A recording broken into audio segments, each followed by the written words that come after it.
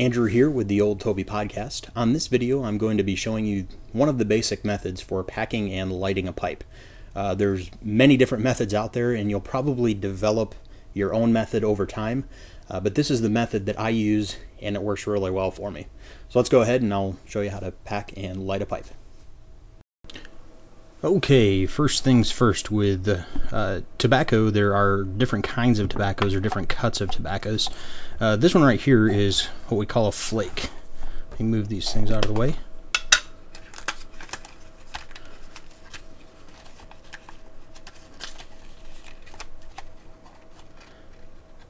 This is what we call a flake. Flake is kind of a pressed tobacco, pressed into strips.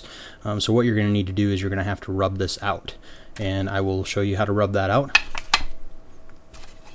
Set that aside. What you're going to want to do, easiest way, grab a piece of paper, lay it down, take the tobacco, and just fold it over like this, and then just kind of shred it. And it'll end up in little bits like that. You want to continue doing this until they're in small little pieces. Now the reason for doing this is if you take it and you roll it up and stuff it in the pipe, it's not going to burn very even. Uh, some people actually do it that way and it may work fine for them, but I've found that if I break it up like this into little strips, it's actually going to work a lot better. Now you may even take this a step further and take it and just kind of rub it between your hands and it'll make it an even finer piece. Um, the problem with doing this too much, I wouldn't do it with all the tobacco, take about half of it, um, rub it out like that, is it leaves it very small and you might actually suck it up in uh, to the pipe itself. So there we have a flake. The reason for doing it on a piece of paper is this, so that I don't waste the tobacco.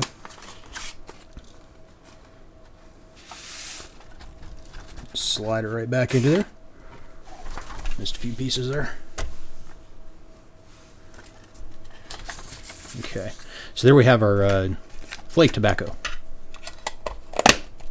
Another type of tobacco is uh, called a pressed tobacco.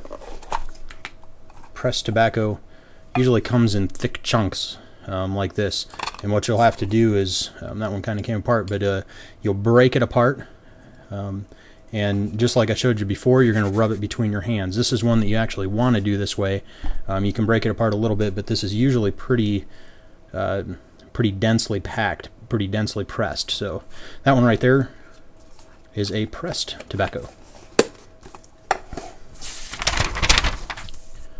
Then you have your standard tobaccos. Your standard tobaccos are, are usually pretty uh, moist and they're ready to be taken and put right into your pipe. And this is the type of tobacco that we're going to be working with today and showing you how to pack a pipe.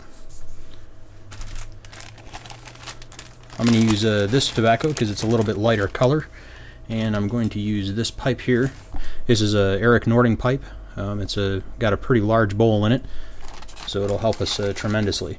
Always use a piece of paper um, when you're packing a pipe, especially at home. Sometimes you can't do it uh, while you're at the shop. If you can't do it while you're at the shop or out somewhere, uh, you can always use it and uh, dip the pipe into the tobacco bag.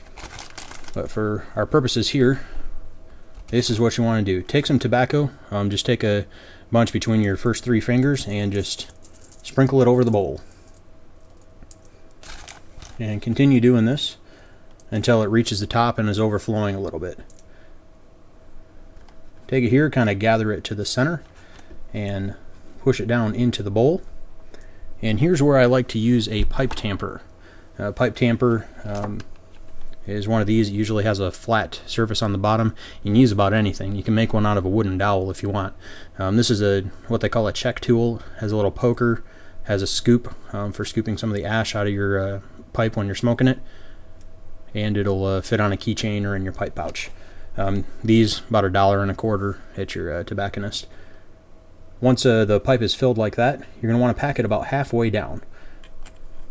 Now you don't want to pack it too terrible tight, because if you pack it too tight, it's not uh, going to have proper draw.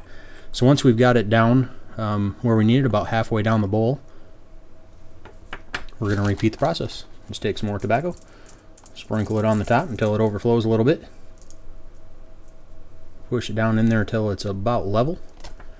And then you want to pack it down to about three quarters of the way.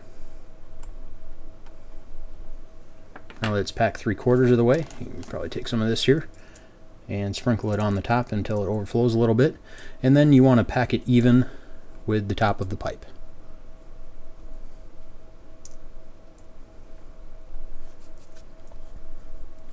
Now to the lighting portion. Uh, when you're lighting a, a tobacco pipe, um, I never recommend using a, uh, a harsh flame, kind of like a cigar flame, um, a torch. I wouldn't use a torch because you can actually burn the pipe itself. Always use a, a, a soft flame, uh, kind of like this, or use a match. Um, and when you're getting ready to light the pipe, you put the pipe in your mouth, you put the flame over top of it, I can get my pipe to light here.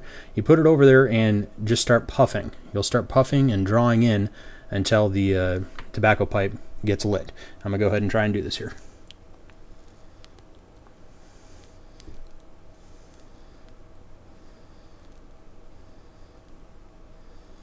You want to take about two or three second puffs until you get most of the tobacco on the top of the pipe lit. Let's try again.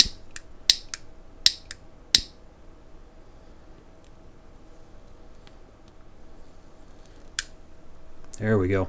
Now once that's lit, you're going to want to take a, a, few more puffs and pack it down as you're puffing. Not too tight though, just enough to uh, pack the ash on top.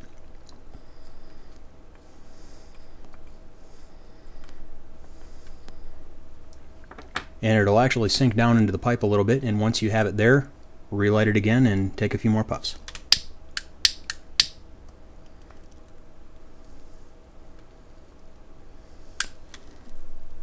They have a nice cherry on it like that. And that'll get your pipe going. This is actually the method that has worked best for me. Usually I don't have to relight the pipe after using this method. Um, so there you have it. That's how to pack and light a tobacco pipe.